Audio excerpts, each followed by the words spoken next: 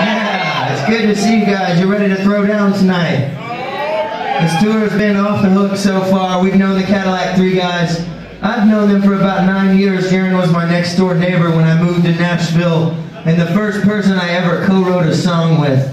So uh, it's pretty cool to see so many good people showing up for those guys, because you couldn't show up for better guys than the Cadillac 3. So, uh, and we're grateful to be here.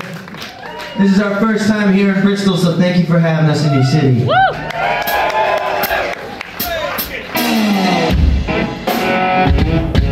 This